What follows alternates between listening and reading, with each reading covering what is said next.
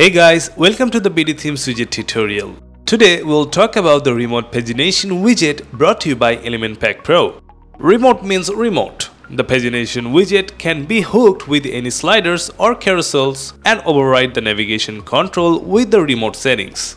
On display is a testimonial carousel that we are navigating with the remote pagination. It's a convenient tool of course. Again, there are many ways you can customize the pagination to boost its appearance on your web page, just like the design here. Now let us show you how to use it from the backend.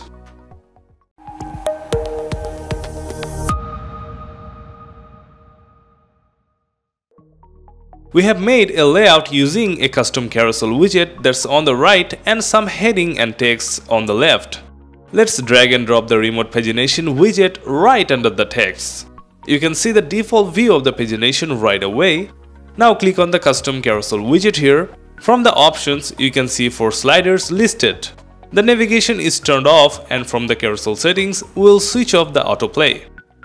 Now go to the Advanced tab and insert a custom CSS ID for the carousel. Then copy the ID and click on the Remote Pagination widget.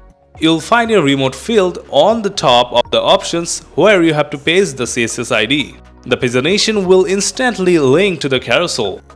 You can leave the loop status switcher on as the carousel loop is activated then go to the item section here and you can see the number of pagination serial numbers listed. There are 4 of them. So go back to the pagination and delete the fifth number. Then open each number box and customize the number texts.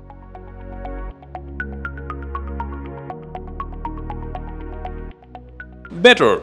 Notice there is an image resize option here. Use it if you need it the Style tab for appearance customization. Let's increase the spacing of the pagination numbers. Then add a solid border with a value of 1 border width, changing the color to semi-transparent blue. Then go down a little to change the text color of the pagination for normal mode. Let's pick blue. Let's change the height and width a bit. Then we can add a fine box shadow to make a 3D type design.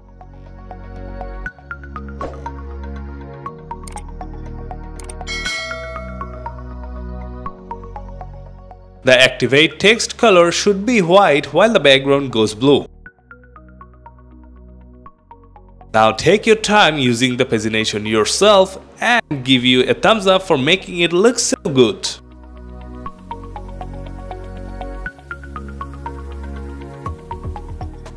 That's all about the remote pagination widget. Thanks for enjoying this video. Don't forget to like, share and subscribe to our channel for more videos like this. See you next time.